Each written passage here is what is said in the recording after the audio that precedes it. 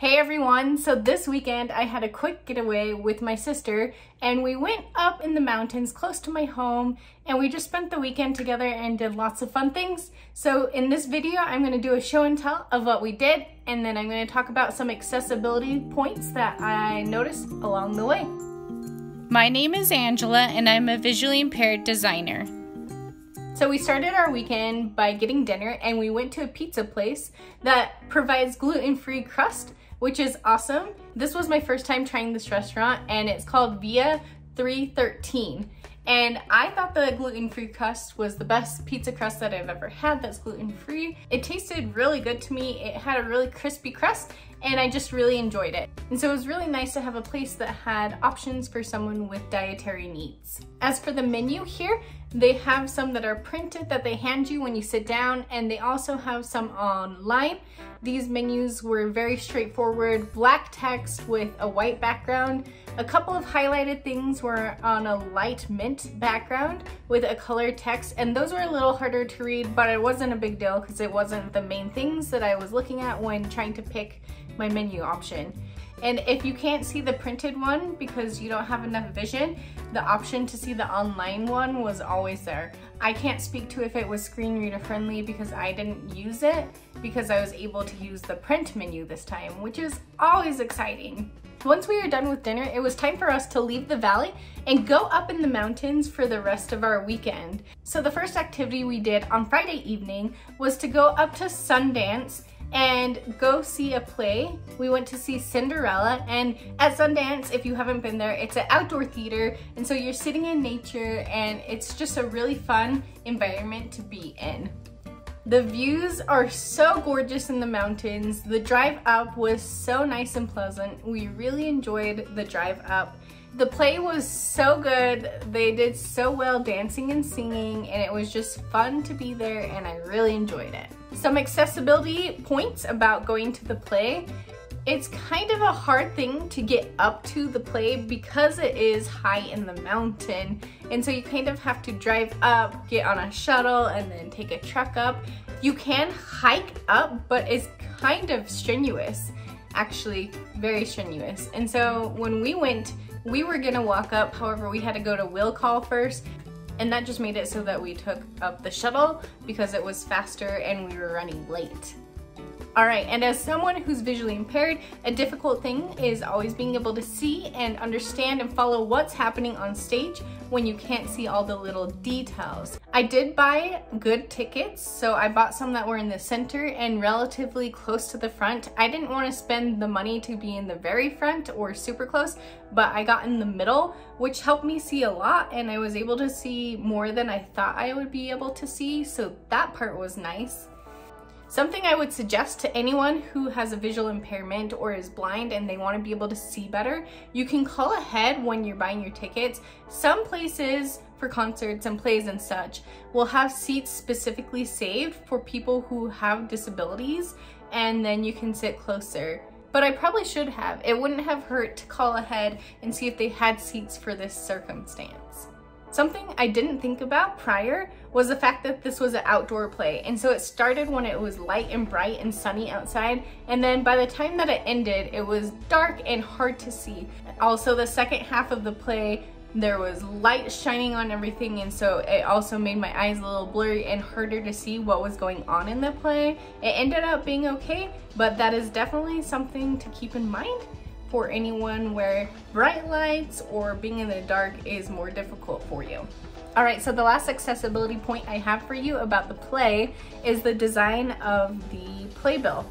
Now the program was relatively easy to see. It was on a white background um, for most of it. The name of the scenes were in yellow text and that was definitely very hard for me to see compared to who was in each scene. And I could see that fine because that was in black but the parts where it said in yellow what the scene was called, I definitely could not read that very well. They did have an option to get an online playbill, which was nice, especially because I mentioned that half the play is in the dark. And so once we hit intermission, it was dark. And if you wanted to look at the program, you would have to either use your flashlight or some other way to see the menu in the dark. But if you had pulled it up on your phone with the QR code that they provided, you could turn the brightness down on your phone and look at the program that way, which is really nice. So once the play was over, it was like 10 or 11 at night. And so it was time for us to go where we were gonna stay for the night. We stayed in a bed and breakfast in Heber, Utah. And this was about a 30 minute drive from Sundance. This bed and breakfast was so cute. This was my moment of like splurging and staying in a bed and breakfast. I've never done that before and it was really fun. And the reason why I decided to do it was because it just gave me the vibes of the Gilmore Girls bed and breakfast and I just thought it would be really fun because me and my sister who I went with both really enjoy Gilmore Girls and I just thought that going there would be a really fun atmosphere and make it that much more special and memorable. This bed and breakfast has 13 bedrooms and there's one bedroom on the main floor that's accessible for wheelchairs and the rest of them aren't. So if you're in a wheelchair or you have a mobility need where you need a ramp, there's one room that you could book. Me and my sister stayed in the Coral Suite, which was a room just off of the kitchen, and we had a king bed that we shared together. It came with a nice bathroom, and then the bedroom had a kitchenette in it, a cute fireplace, and it was just a very fun atmosphere to be in. It's decorated so cute, and like the time period that it was built in, which was 1902, and it was just fun to be in a place that wasn't so modern or like anything else that you've been in. They have a cute little outdoor backyard area where you can sit out there and they have barbecues and everything back there if you want to interact there. And so since it was a bed and breakfast, you know, the first part is sleeping there and then you go and you have breakfast with people who are there. We went first thing in the morning because we had activities planned, and so we were the first people to order or get our breakfast. I ordered some crepes that were savory and I really enjoyed them. They had an interesting texture to them and it had cheese and bacon and stuff and it was just so good.